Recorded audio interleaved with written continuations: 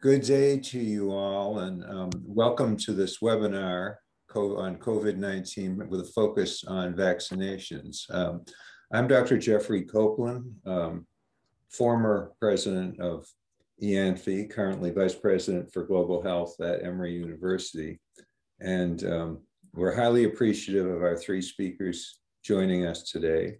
And we're highly appreciative of all of you who've taken time from busy schedules, busy days, different time zones to participate as uh, for the discussion and understanding of what you're doing and, and people on uh, the panel are doing regarding uh, vaccination programs for COVID-19.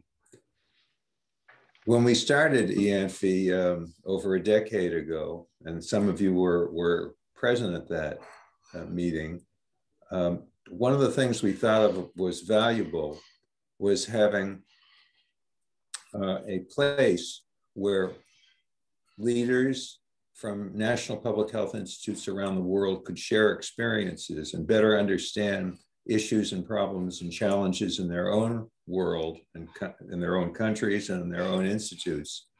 And here is yet another example of our ability to do that in an easy and congenial and professional manner um, with our three participants and then the many people who are, are joining in in the discussion.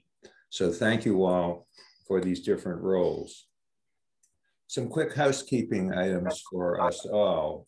One, when you're not speaking, and I'll be guilty of this as well, and I'll try to remember it, please turn your microphones off. That, that um, That's important because the quality of the sound, as we all know from other um, webinars, can be quite damaged by lots of, lots of folks on the line with just the phone on.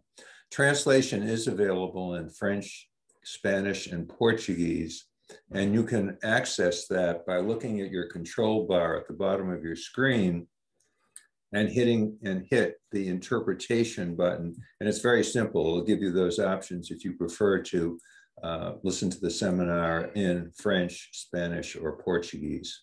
There's also an interactive feature on this that permits you to raise your hand. It looks like you're raising your hand. You see a, a hand in it. Um, you can you can double up on that if you want and wave your hand in reality, but also uh, electronically is probably the most efficient and effective way of doing that. The meeting is being recorded, so um, the slides will be available and the discussions, including questions and comments, will be available at the end. Please save your questions for the end. We've allocated a good period of time, almost half of the session, to allow for questions uh, and to hear from you. So um, do participate in that, but we'll save all the questions for the last uh, 25 minutes. We're going a, a, little bit out of order today, but let me just remind you the purpose of our session is uh, to familiarize ourselves with three programs and three approaches uh, basically focusing on COVID-19 vaccination, comparing the uh, activities of different institutes, where have they placed their emphasis, what has worked, what hasn't worked, what advice can you offer us, your colleagues, uh, from what you've learned yourselves. We're switching the order a little bit from program just to accommodate everyone. So Dr. Singer, who is um, Deputy Director of the Division of Epidemiology in the Ministry of Health in Israel, uh, will be speaking for the uh, is Israeli C CDC. So without further ado, I'm sure I've left something out, but I'll come back to bother you later. Without further ado, I'll present Dr. Singer. Dr. Singer, thank you for joining us. Thank you very much. I'm going to get my share screen one second here, getting going once again. And here we go. Can you all see that? Yes. Okay. So um, here we go. Um, so I'll just correct that. I'm not from the actually Israeli CDC. I'm from the Division of Epidemiology. Um, I work in the Ministry of Health, and we uh, are very active in the uh, immunization campaign, COVID uh, vaccination campaign. So let's get started. Um, is that going to go page down? There we go. So this is Israel. You see it in one little satellite picture of the whole country right there. It's, it's a young population. um, 9.3 million people. Uh, of them, 2.8% below, 2.8 million below um, 16 years old, which is an issue for vaccination, of course. Um, it's a small country territorially. Our public health system is, is national and centralized, which is a big issue, which big advantage in, in this uh, national campaign. And we're based upon four national HMOs, which give um, almost all of our primary health care. So it was very uh, convenient to work with that. Um, we based our vaccination campaign, the key components of our campaign were based on existing community health system as compared with the thoughts we had about bringing the army basically and opening back vaccine centers. Um, we went on with existing clinics and existing health system, which we have working in Israel for 70 years now. The, uh, we had to vaccinate rapidly, rapidly as much as possible to reduce mortality. We didn't compromise on safety. We believed that uh, one wrong step could knock out our whole campaign. So it's very clear to be important to be to safe and not have uh, mis mishaps and not have uh, well adverse events always happen, but but nothing of uh, neglect or poor management on our side. And we prioritized in a simple, very simple manner. Uh, we started out giving 60 plus was our first uh, RAF of um, of prioritization along with medical staff and first responders. So it's very easy to define a person 60 plus. That's easy to identify and give them the vaccine on time. Um, we were very active, our public uh, relations department is very active in uh, encouraging vaccine uptake and fighting fake news. We have national electronic medical records, which help us track progress and adverse events and identify weaknesses or uh, slow spots with vaccine program and manage the risk. So we're, we're on that, and we have actually day, to this day daily meetings uh, chronicling where we stand, where we where we have lapses in the vaccine, uh, any uh, adverse events, etc., and transparent to the public to get um, people aboard um, with our campaign. Next slide. Um, so what are the strengths of our system? We have a strong centralized national health system, and I really I have it on my computer every morning I know what's happening from Metula in our far north to Eilat in our far south. I have it all in front of me. Um, we have national health insurance, which is covers for all residents, not only citizens, but also permanent residents. And we have four competing uh, HMOs, which give all almost all primary care in the country, um, but they co cooperate very nicely in this operation. Um, Israelis have ID numbers from birth, so we could easily connect data vaccine data with public, uh, with medical data, with a, case of COVID, et cetera. Um, all community healthcare is documented on the electronic manner, so we have immediate access to all inter interactions, medical interactions. Um, we have linked data on every COVID test and every dose of immunization. And Israel had a lot of experience with emergency preparedness response. And our national psych is actually geared toward mobilizing in a crisis um, I guess you don't have to tell you much about that. We are experienced in, in crisis. That was all a big advantage in dealing with this issue. And the challenges, we'd never done a campaign of this scale. And we didn't know if the population would come to get the vaccines. It was, of course, a new vaccine which nobody in the world had any experience with. So we were concerned about that. The health system was distracted. We had uh, absenteeism in the health system and, and many cases to deal with. So it was a big challenge. The logistics are, were a challenge because it's the ultra cold storage requirements. We have 80, 80 below zero centigrade, very cold uh, storage. We don't have, we didn't have such facilities in Israel at the time, and a short shelf life, shelf life at two to eight degrees. And we didn't know about the product stability, about transferring in between sites. We, Israel has about 11, 1,100 uh, clinics, but you couldn't vaccinate them all those because you couldn't move the vaccines from here to there. We ultimately ended up opening up 400 clinics nationwide central sites. Um, and we didn't know when we are going to get vaccines. Ultimately, we get them pretty much as we needed them, but we didn't know that in advance. Um, logistics, operations, well, we were essentially operated, the, as I we had daily meetings coordinating the, uh, the vaccine campaign. Um, every, we, had a, we have a national leader for the vaccination project, and he was on the data every day. Um, we had UNIVAS based by the HMOs, which was not an obvious choice. Um, we had central locations for, for ultra freeze storage, and it was from there, so you'll see a slide about that in a moment. And we made every person who came for a first dose was guaranteed a second dose. which meant saving doses for the future, and which means could have meant um, getting given less doses to other people, but in the end it didn't. It didn't. Um, and I'm going to skip down the, the, those. Uh, two. So this is our supply chain. Um, the vaccines were created, uh, manufactured abroad, flown into Israel at uh, 80 Celsius, minus 80 Celsius. We have two storage points in Israel, um, and they're distributed in, on demand about three times a week to primary locations. And as we learned how to split those big, big, big uh, supplements, big samples, we were able to go to community centers and ultimately we're now doing reach out in nursing homes and private homes. It was very recent split uh, individual doses and small uh, packages of vaccine. It was a challenge for at first. And this is our first vaccinee. I guess you might know this guy on December 19th. And we ended up with 450, I was corrected this morning, 450 sites in nationwide, which is, I guess you can't compare with, you know, different sized countries, but um, for us, it was a large number of sites to manage. Uh, these are our four on the side here, the four uh, health funds, Clalit, Maccabi, Meuchedet, and Leumit, and the hospitals also had, had the vaccination sites. And we were able to give a peak of about almost 200,000 or even 200,000 doses a day, um, which we thought was very impressive. We were amazed that our, we, we expected to vaccinate 60,000 a day, ended up doing 200,000 a day. So we were very surprised by ourselves. Seven days a week, which is not obvious in Israel, which is that we have a religious holiday Sabbath every day. And we had less than 2% no show for second dose and very small wastage. Very, very small. I don't know the number exactly, but less than 1% wastage. Um, this is our cumulative dosage.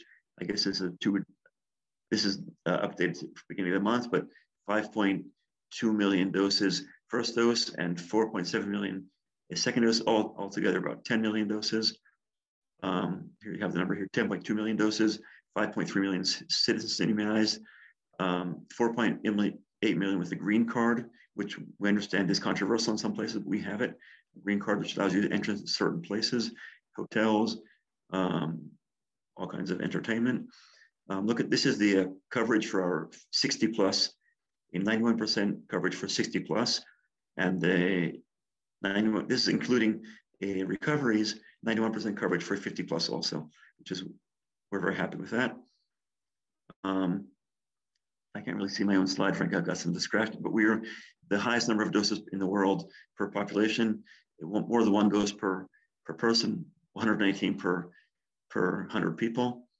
Um, and we lead the world also in the, um, those leading, receiving at least one dose. We're at 63% now, receiving at least one dose. And we can't give that's more than that's saying that's less than what the truth is because truth is that we still have 2.8 million children we can't vaccinate. So we're actually doing much better. I think 84% of the vaccinable population we, have already reached with a single dose at least. Um, this is our uh, vaccine curve. Our I'm sorry, our outbreak curve. We had a you can this is a big wave in January. This starts only in uh, December. Don't go only we don't have the two first two waves here, but third wave was a big wave with 8,000 rolling average per day. And it started coming down. Our vaccine started about late December, right around here. And um, we started opening. We had a light, we were in lockdown at the point, started opening up. But in spite of the opening, our cases started coming down. And we're now, even though the, the uh, almost entirely opened, not entirely, but almost entirely, look at our cases, 200 cases a day on average. So we really feel it's been great success. Hope that it'll maintain. We, are not guaranteeing it's going to maintain. Um, it's going to stay like that, but we certainly hope so. Um, so we feel our, pro our program has been a great success and relatively little opposition. Our lessons, central management and distribution, broad, easily defined priority groups, central national electronic databases, teamwork, which is very critical, and managing public perceptions. Um, I think I'm on time, amazingly.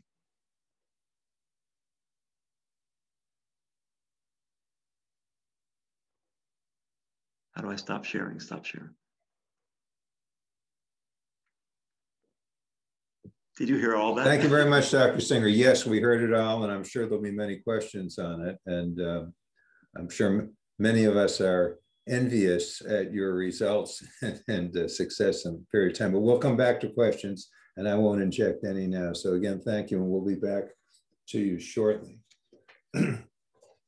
Uh, the next speaker, I believe, if we're going to return to um, the, the, the schedule, um, will be. Uh, I guess we're going to do Dr. Fox next. Is that correct?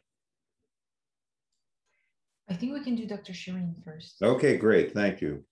And our next speaker is uh, Dr. Tahmina Shirin from uh, Bangladesh, um, Kimonachan Kubalo um, and who is uh, with the Institute of Epidemiology, Disease Control and Research in uh, Bangladesh and active in their National Influenza Center. So, Dr. Shirin, thank you. Um, thank yours you. is probably the most inconvenient time zone, and we appreciate your taking time.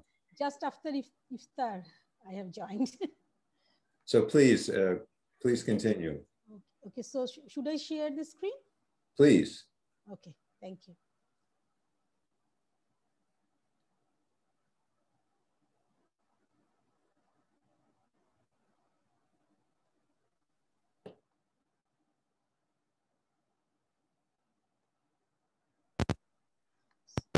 So then,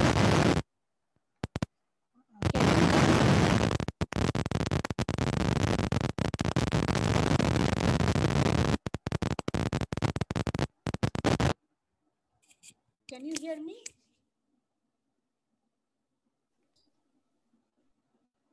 I can hear you now. There was some static before, but maybe try speaking again, please.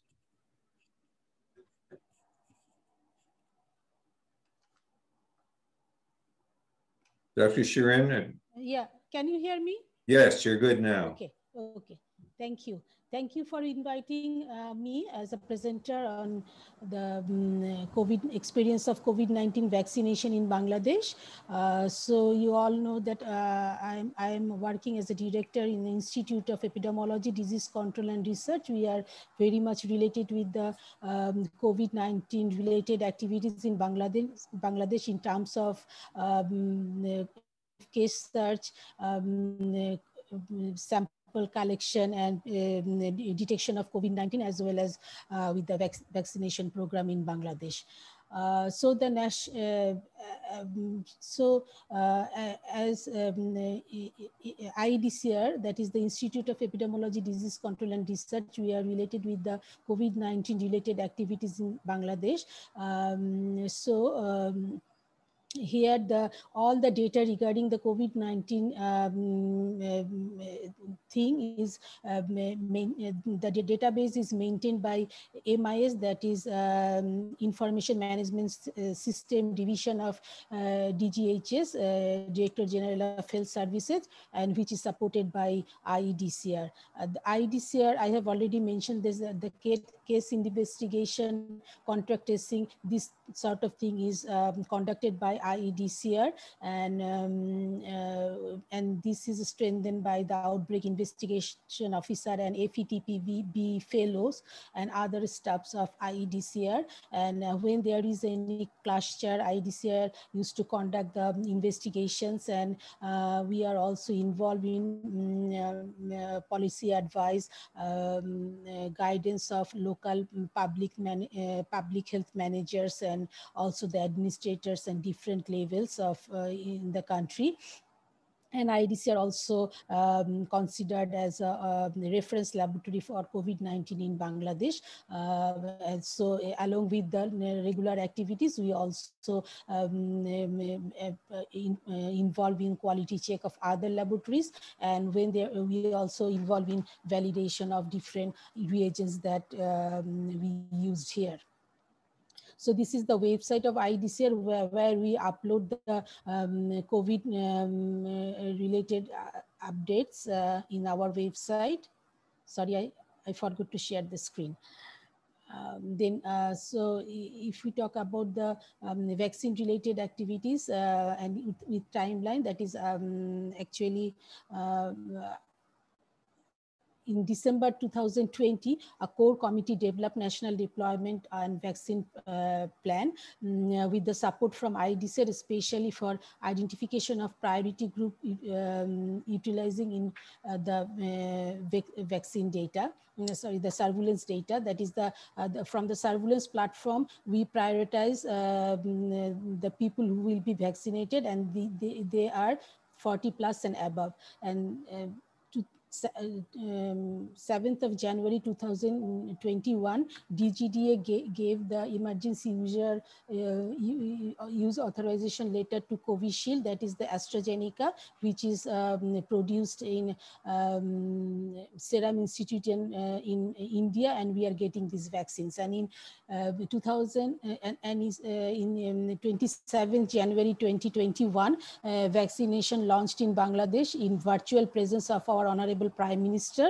and in that day five uh, persons uh, be, being vaccinated and after that um, in uh, 7th February 2021 um, nationwide uh, vac mass vaccination started and um, 8th April uh, the second uh, dose of vaccination started.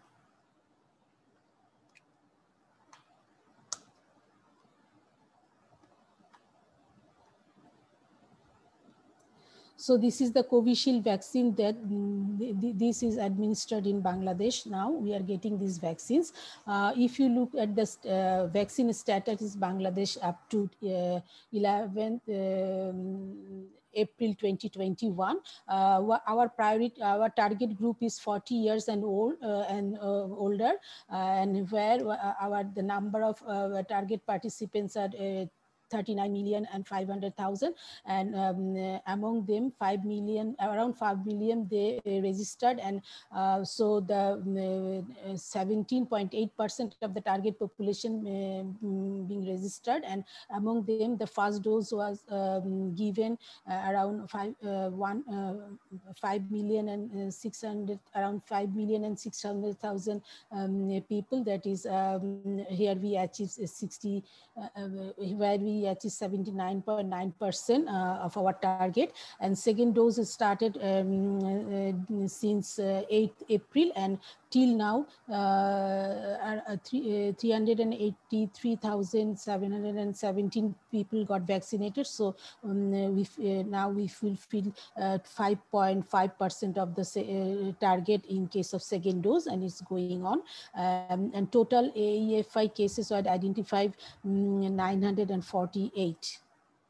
So here we can see the uh, status of um, COVID-19 vaccination that is administered in, Bangla in Bangladesh versus the world scenario. Uh, in Asia, 2.97 uh, percent of um, uh, 100 uh, people are vaccinated, where uh, Bangladesh uh, um, is in Bangladesh 3.45 percent per percent of the target population got vaccinated compared to 44 around 47 percent in US, UK, and 35 percent in USA. So uh, regarding the um, AEFI and AESI surveillance, actually IDCR is going to start a active AEFI and AESI surveillance and the passive surveillance which is conducted by um, Director General of uh, Drug Administration. Actually for the active surveillance, IDCR um, uh, already selected eight districts in around, uh, randomly selected eight districts in Bangladesh and the people were already deployed there. It uh, we are uh, we are going to start it soon and uh, but but the passive platform that we are using now um, this is a very strong platform and which is aligned with the uh, EPI platform in Bangladesh and supported by WHO um, and we have also and uh, so these uh, Um, uh, committee is um, formed at district level as well as in the central level at I, DGHS that is um, Director General of uh, Drug Administration, where um, IDCR is actively participating. And um, uh, we have this uh, AEFI um, committee at the district level as well as the central level that I have already mentioned. And um, uh, we also look for the uh, plausibility assessment. Um, it is done at district level as well as um, national level, and um, and we sit um, together for to for this assessment on regular basis. And and another thing is that uh, uh, IDCR has a hotline. Um, so we, we also get the AEFI re related information through this hotline from the individuals and from the uh, centers uh, where the uh, people uh, get vaccinated. so um, in that way, we can keep track on it. And if there is any cluster regarding this AEFI, um, IDCR conducts epidemiological um, investigation on this AEFI. Um, and uh, another th thing is that at the beginning of the vaccination, IDCR took uh, active role in development of guideline regarding this AEFI and AESI. And uh, so I, that is, I have already mentioned not that regarding this hotline number, not only for this AEFI, we also receive call for the lab, uh, laboratory testing of COVID-19 uh, disease-related FAQs and uh, vaccine FAQs. And um, uh, so actually uh, this um, um hotline uh, um, number is operated by the um, trained and skilled physician. They got training on the, on especially on AEF, AEFI of COVID-19 COVID-19 vaccination and all AEFI uh, uh, reporting uh, is monitored daily by IDCR we are also conducting uh, mm, some uh, post-vaccine um, uh, related research that is the, the surveillance of uh, on development of SARS-CoV-2 specific antibody in Bangladeshi population following COVID-19 vaccination, which is conducted by IDCR in collaboration with ICDDRB, where we are going to estimate the uh, COVID-19 vaccination response and uh, development of SARS-CoV-2 specific antibody by ELISA. Um, we um, the, the uh, another aim of this uh, objective of this study is to detect the level of uh, neutralizing antibody in COVID-19 vaccine recipients and in selected population of vaccine, we are going to determine the cellular immune response against the vaccine. Uh, we are beside this, we are also doing the genomic surveillance uh, where we uh, we are doing the whole genome sequencing and phylogenetic analysis uh, by a consortium between uh, several government and non-government institute where IDCR is the lead we are also facing ch some challenges that is the global supply uh, shortfall of COVID-19 vaccine. Actually, this is not the challenge for only for the Bangladesh, it is a worldwide challenge. Um, and we are, uh, we are now concerned over the effectiveness of vaccination ag against the evolving variants because now South, uh, we, UK uh, variant and especially the South African variant is now in, existing in Bangladesh. So we don't know how far we will get the vaccine cover coverage against these um, strains, uh, but so far we uh, learned from different study that 30%, uh, it gives 30% protection against severe disease and 10% um, against the mild and moderate diseases, but uh, it will, as, as, a whole, it will give partial protection. So we hope that the morbidity or mortality will uh, go down. And another thing is that the recent upsurge of the cases in Bangladesh uh, the, uh, since the beginning of uh, March. Uh, so, we, uh, so we are challenging this. Um, uh, we are facing this challenge um, during this vaccination program because some of the people they are they got their first vaccine now they, they become infected, so they, they they have to wait for another four weeks for the second dose implementation um, challenges. Uh, mm, Source limitation, resource limitations uh, that we are fa facing and coordination among different organizations and sector for vaccination and surveillance and um, vaccine hesitancy uh, fair to uh, um, AEFI and rumors, but uh, actually Bangladeshi population is not, that much fear of uh, all those sort of things as because uh, people in Bangladesh are vaccine friendly. Next step that are, that we are going uh, we are thinking about that the government is exploring for different uh, vaccine sources and uh, vaccines uh, type uh, initi in, initi initiated second dose of vaccine and um, continuing first dose of vaccine for the target population. Vaccine effectiveness and efficacy study are expected to give further insights and strengthening of genomic surveillance platform will give additional um, information regarding the circulating strains. That I would like to stop here. Thank you. Thank you all for patience hearing.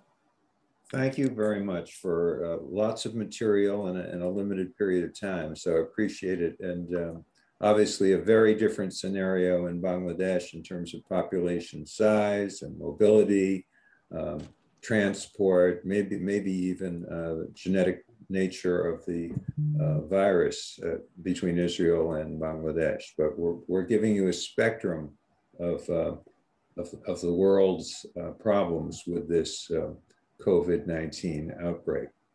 Um, let, let us move on to the third speaker now. Um, Dr. Fox is uh, at the US Centers for Disease Control, where she's one of a three person leadership team on the uh, vaccination plan for COVID-19. Um, shall we uh, continue, Dr. Fox? Are you ready?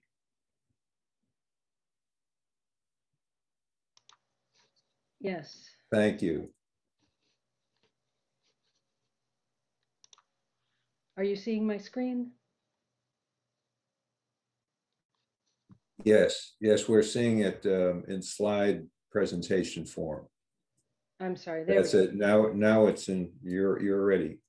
Perfect. Okay. Um, so uh, good morning, everyone, or good afternoon or evening, wherever you are.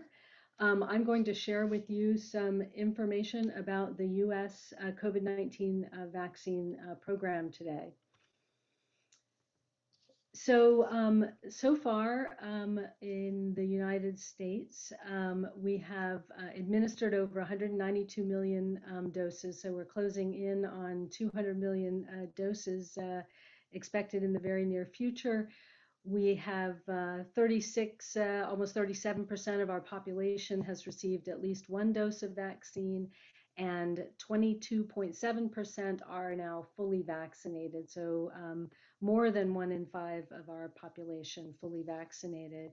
Um, we have much uh, higher rates of coverage in the older population since that was an initial um, priority population. And I'll talk a little bit more about that prioritization process in just a minute.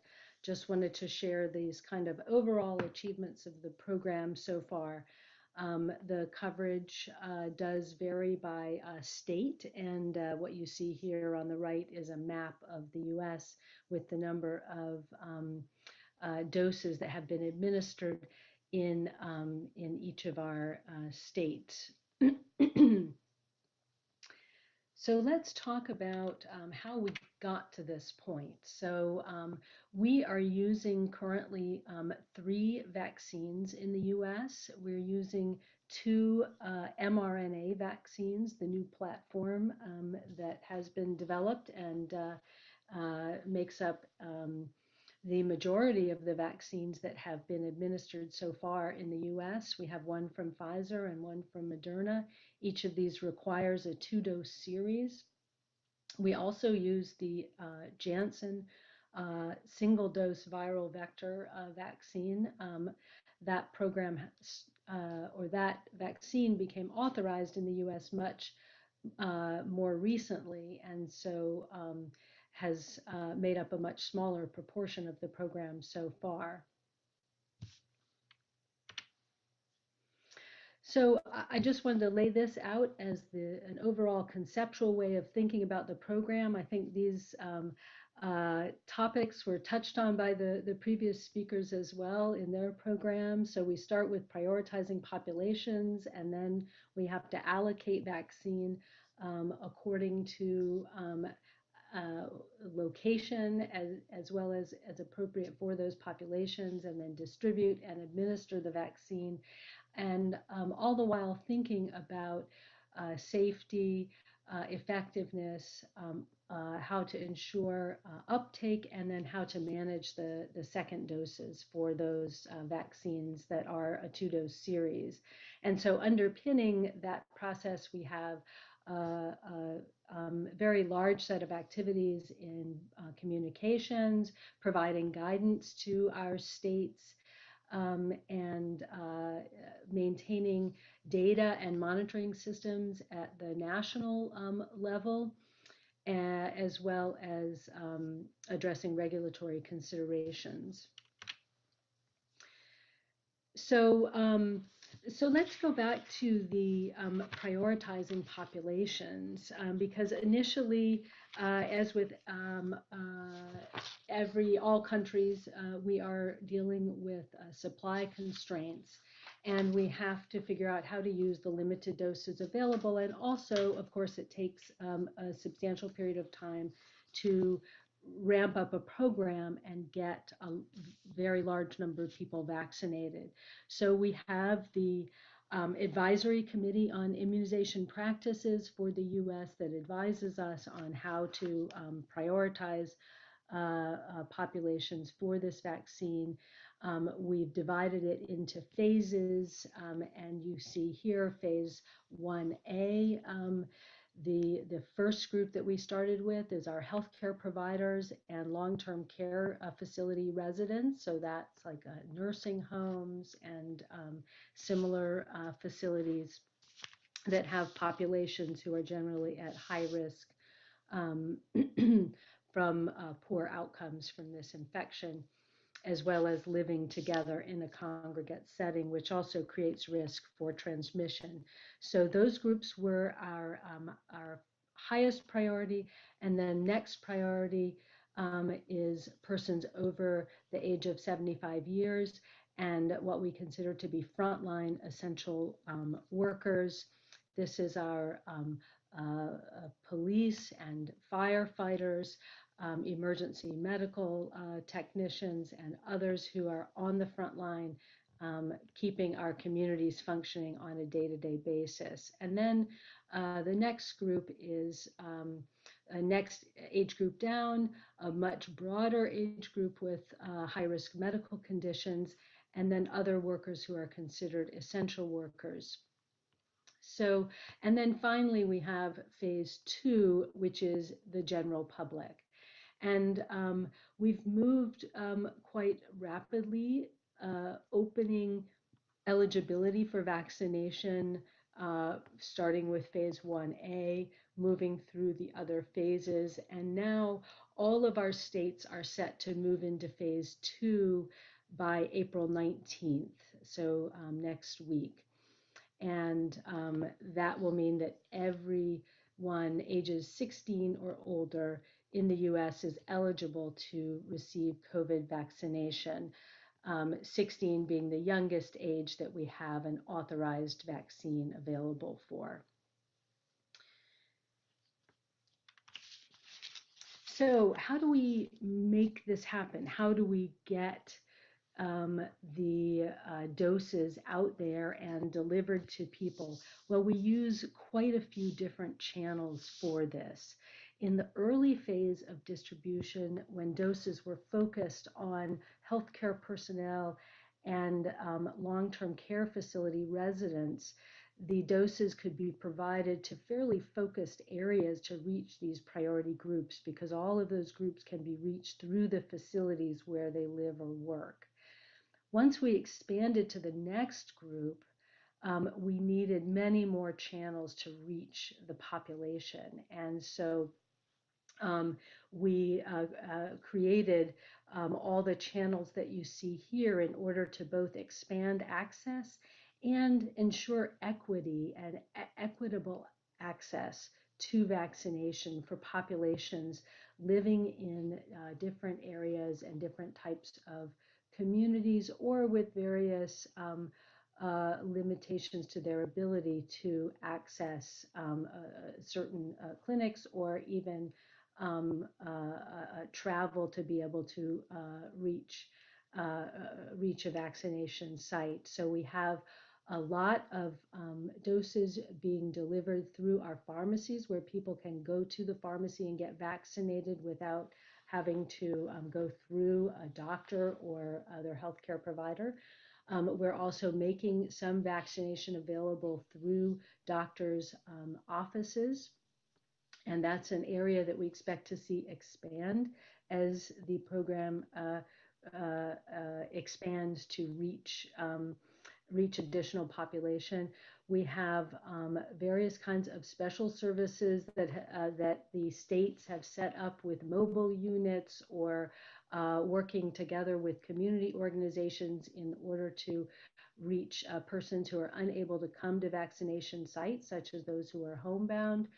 We have a special uh, program set up with uh, our federally qualified health centers, which are federally supported public health clinics that provide care to underserved communities. And that's to try to ensure that they um, also have uh, equitable access. We have a special program through our Indian Health Service that. Um, Dr. Fox, I'm, I'm sorry that we're, we're going to have to rush you along a bit, I'm afraid, because uh, we're, we're, we've Okay. gone into the question time. Sure. Um, uh, to vaccinate our our um, uh, Native American tribes, um, as well as other um, kinds of uh, special programs and mass vaccination sites. Um, we have uh, set up a vaccine safety strategy to um, uh, ensure that we can detect safety signals uh, that come from using these uh, new vaccines, and we have both active and passive um, vaccine safety uh, monitoring systems, including a new um, tool uh, that is smartphone based uh, called vSafe that we um, offer to people who are being vaccinated so that we can conduct an automated check-ins uh, with them through their smartphones. We recognize, uh, particularly with a new vaccine and particularly as time goes on, um, and uh, that we um, uh, have to keep uh, uh, promoting confidence in um, the vaccination and ensure that people have the information that they need um, and that they're receiving this information through trusted messengers. And, um, and so we have uh, a whole set of activities going on that we call Vaccinate with Confidence. Um, that is our national um, strategy to reinforce confidence uh, in these vaccines. And um, that includes activities that engage um, communities. And this is just um, a, a, sample of one of our communications um, materials uh, uh, or, or uh, um, sources uh, on our website um, that we uh, provide to the public. And so I will I will stop there. Thank you. Thank you. Thanks very much. And sorry, sorry that our time is so constrained. Let's get right into the questions uh, from folks. I know we've assembled a number. And um,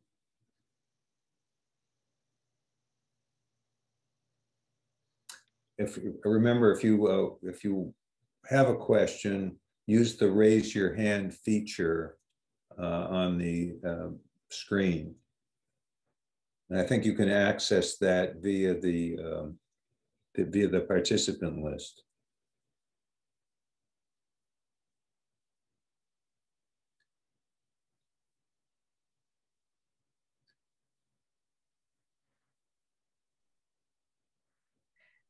Uh, Bjorn, uh,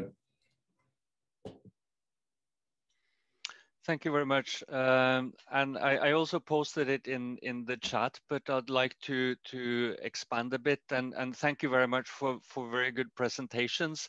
I'm really curious to hear more from Israel about the adverse events system because we, I, I know that you, you have a vaccine that hasn't uh, where we haven't discovered too many adverse, at least serious adverse events, uh, as we have with, with some of the other vaccines being used uh, in Europe and, and, and other places. Uh, but could you uh, expand a bit on, on how you are able to detect uh, adverse events? Israel being about twice the population of Norway, it's it's easier sometimes to to uh, discover and to detect adverse events in a smaller country than some of the larger ones, and also the delay might be shorter uh, than we have seen in some of the the larger populated countries. So yeah, please. Thank you, Bjorn.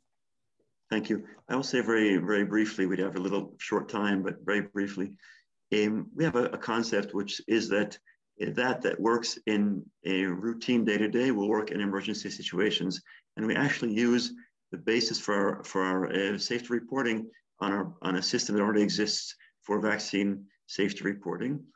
Um, and it is based upon, um, there are two options. One is the uh, provider may report maybe that be a, a, doctor or a nurse could report, and that is identified data. We have we get data with the patient's name. We go back in the hospital, ask for a hospitalization information on that patient, um, and there is unidentified data uh, like the CDC site we mentioned there. The um, I forget the name in America that any um, civilian can enter get on, on web and and monitor a uh, or enter a, a uh, an event, and as we can't follow those up so much.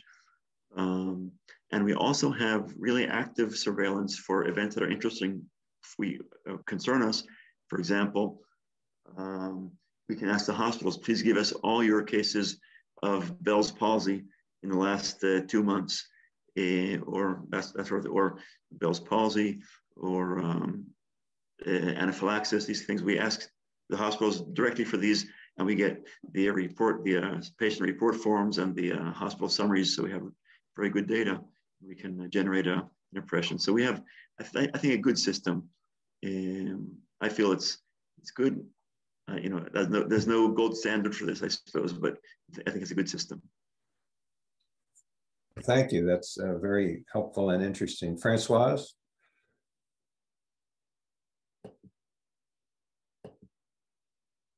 No.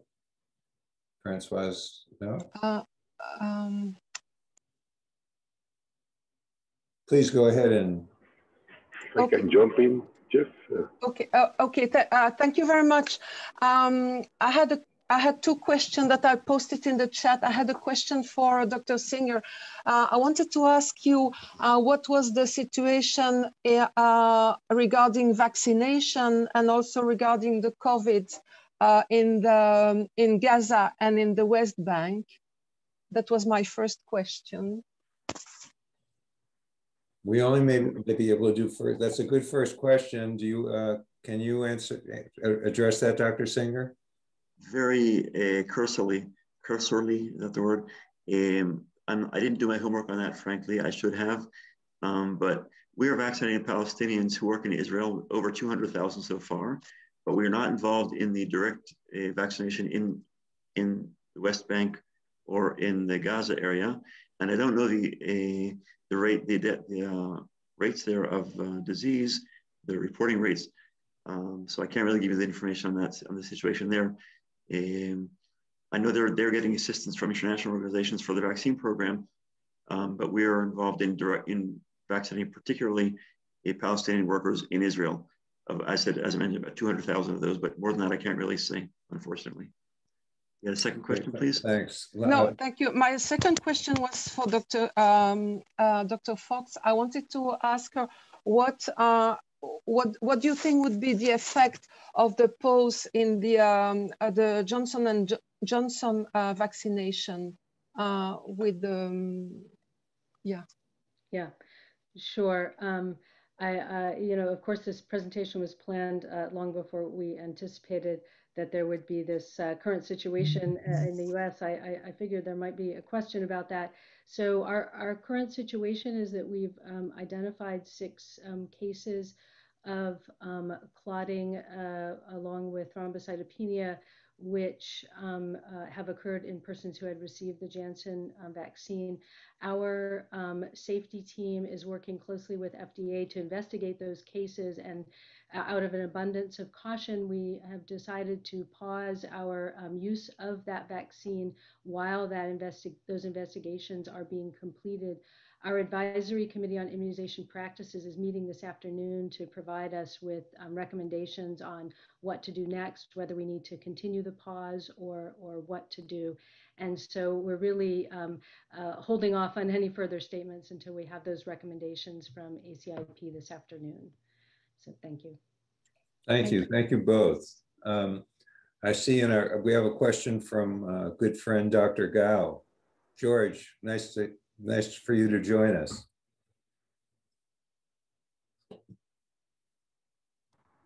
Hi, um, hi, Jeff, and uh, hi, Dr. Singer. I have a question for you. So everybody in the world is talking something about the antibody titers or levels to protect for the infection of for the severe cases. Are you setting up any kind of a group in Israel because you immunized so many people? Are you setting up any group to test for the antibody titers for the research purpose? Thank you. And the answer, thank you for the question. Yes, we are testing for antibody titers. And we use them actually clinically in a very, very limited uh, fashion, but we are looking for a uh, correlate of protection. We don't, don't know that yet. Um, we are doing some several research programs to try to evaluate that question, but we don't have an answer yet, which I would say the, the big uh, holy grail is correlate of protection. We don't know that yet. So we're using it, as I say, in very limited fashion clinically um, and waiting for answers for this question, which everyone, want, everyone wants to know. Thank you. Thank you, Dr. Singer. Thank you, George. Um, Mauricio, Dr. Hernandez. Hello, good morning, everybody. And I, I also want to thank you for the very interesting uh, presentation. And, and, I have two questions that uh, were not uh, really uh, addressed. One is in relation to the, which is the priority population. Uh, I saw different uh, populations that were set in, in the four countries that presented. But my, my question relates, if you are in a um, uh, setting with a limited supply, and it's going to take you very long to, to vaccinate, I mean, would you recommend to go with the more vulnerable, say with the people 60 and, and over, or will you recommend opening to try to reach uh, more more people? In Israel, the priority group expanded really fast. In uh, uh, United States, uh, also, and in, in the other country example, it was brought down to 40 years old. So I wonder if you have a recommendation there. And then my next question is, if you are in a country who is using uh, very different uh, brands, for example, in Mexico, we are using six uh, uh different brands of vaccines and types of vaccines. Uh, is somebody uh, testing if you can finish one brand with another brand? because, you know, markets get really tight and it's difficult to get uh, the exact uh, second dose at the time you need it. So will be possible to finish one immunization scheme, for example, Pfizer with uh, uh another vaccine, for example, uh, Sinovac. Uh, that's those are my two questions. So thank you very much, and thank you again for your great presentation. Mauricio, who are you directing those questions to?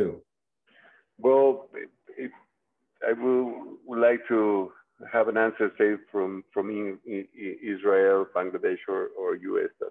That would be that leaves it pretty open. Fine. So if the if the three uh, speakers could maybe just um, briefly uh, touch on Dr. Hernandez's um, uh, two questions. I will answer briefly. My camera went and somehow went off. I can't to get it back on, so you'll you don't see me now, but you can. I hope you can hear me. We hear you fine. Okay. Um, I think the priorities we chose are actually good priorities to use even in a limited vaccine situation. We didn't know when we started out, we didn't know how much vaccine we would have. And uh, we want, we said, if we have limited vaccine, go for those at highest risk. And we included in, that group over 60 and uh, healthcare workers particularly, and people working in long-term institutions, living and working in long-term uh, care institutions. Um, because if you have a limited supply, go for those at the highest risk. It seems to me that makes sense. If you have unlimited supply, open it for everybody, but that's not, not many countries, countries have that situation. I think nobody has that situation. And so I think that the priority we chose was reasonable, similar to the US uh, policy. The only criticism received was that the under 60 high risk group were not prioritized. In other words, uh, a cancer patient age 45 years old was not prioritized until rather later. So we were criticized for that, but you can't have it all. And so I think what we chose was reasonable and it's easy. The point is to have it easily, easily identifiable. 60 years old, people you have you have their age in front of you when you vaccinate. I imagine can say yes, you are 60, you're on 60.